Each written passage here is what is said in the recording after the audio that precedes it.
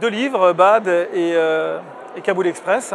Euh, J'essaie d'écrire sur euh, l'Afghanistan, mais au-delà de l'Afghanistan, sur des sentiments un peu universels qu'on trouve et que j'essaie de retranscrire à travers des romans policiers qui essayent d'être plus que des romans policiers. On est dans le roman d'aventure.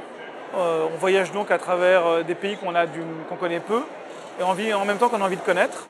Ce qui est important pour moi, c'est la véracité du propos.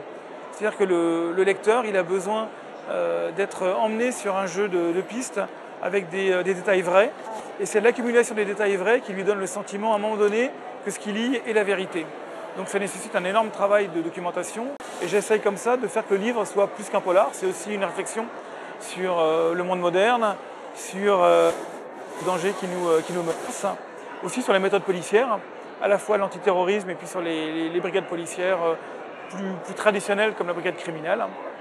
Et puis je crois que maintenant, bah, il y a des, euh, des lecteurs qui ont pris l'habitude de ce, héros un peu, particulier, qui ont appris à l'aimer, à le suivre et à voir l'évolution de sa vie.